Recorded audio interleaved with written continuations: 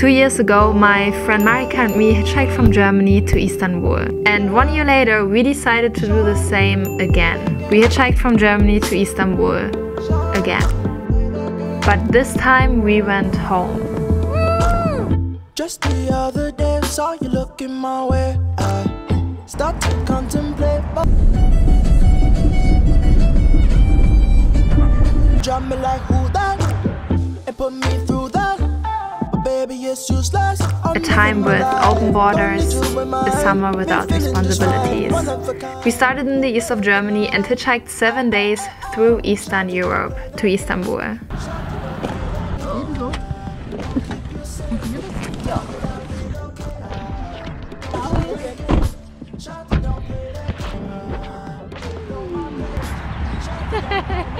Okay, was meinst du, wie lange werden wir hier stehen, bis uns einer mitnimmt? Ich glaube, halbe Stunde Maximum. Okay.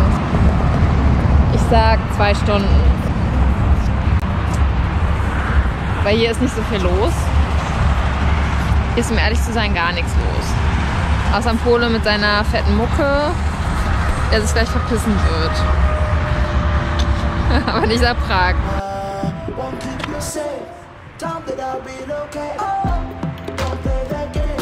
Also unsere Schlafplätze sind hier. Wahnsinn. 5 a.m. in Prag. 5 a.m. in.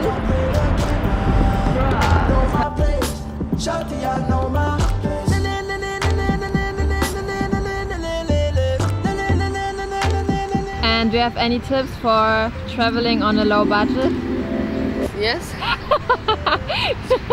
so if you're traveling on a low budget, which I'm really experienced in, you can forget like fancy restaurants and like, I don't know, visiting every museum or every attraction. Also hier vom Meckes, ähm, Zitronerstab. Und das ist Zitronensaftkonzentrat. Das werde ich jetzt in diese Flasche geben.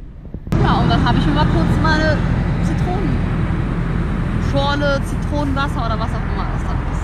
Ja, Mac ist so richtig ausgenommen. Genau. Uh, heilige Zitronengöttin.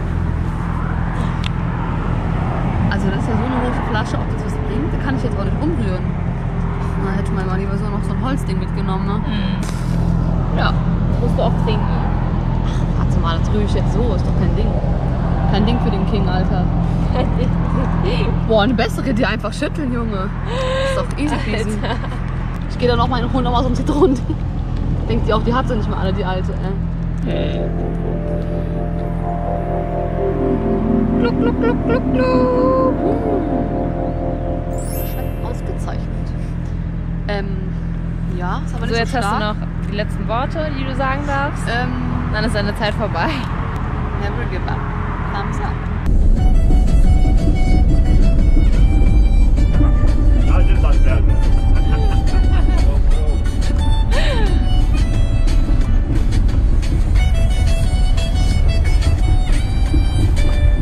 Also wir haben jetzt einen Schlafplatz gefunden. Man sieht eh nichts. Ja. Aber wir sind halt Penner. Das muss man doch der Welt mal mitteilen.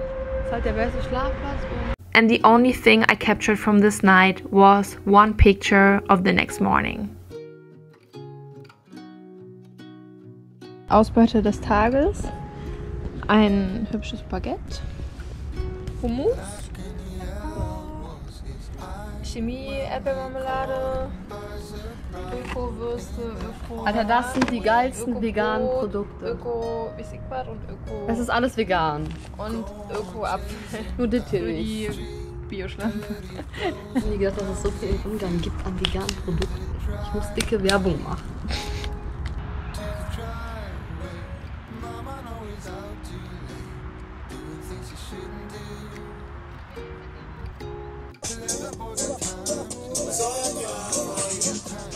in der geilsten Bar unseres Lebens. Geilste Bar ever. es ist schon ziemlich nice.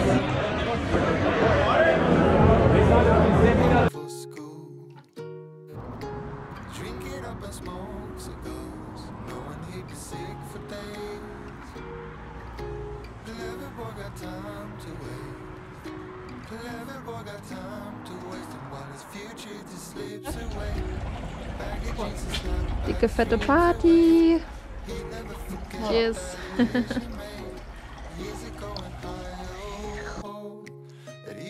So the most important rule, in my opinion, is to listen to your feeling. Like if you feel something is wrong with that driver that stopped for you, then you really shouldn't get into the car.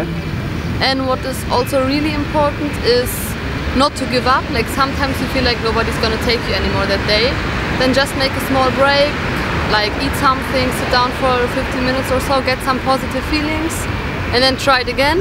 Because the most important thing is that you are positive and that like the way you communicate with the drivers, like you have to smile, you have to be positive, so they have a reason to take you. Like they see you and think, oh, that's a nice person, I'll help her, and yeah, that's the main thing. Like try to look nice, and people let you in their car. They don't know you as well, so they have to trust you as well.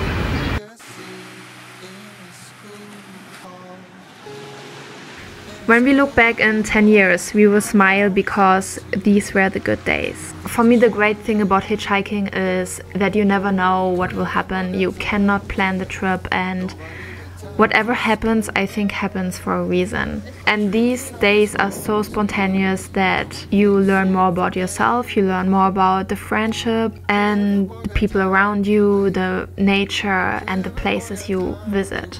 I didn't have so much footage of this trip because I decided not to have my camera out most of the time, but I think the most important thing is that we remember this trip as the good days we had in our life. After one week, we made it to Istanbul, and driving over the Bosporus feels like coming home.